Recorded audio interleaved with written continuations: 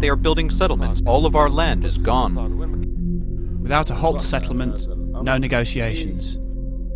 It means there is no land left for this Palestinian state to be established on.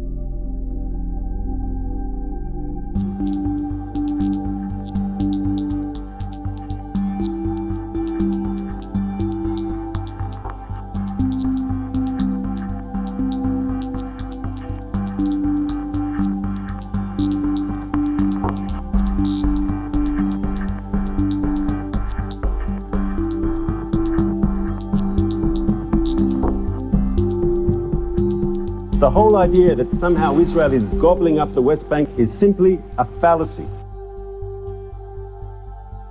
It is past time to talk about starting negotiations. It is time to move forward.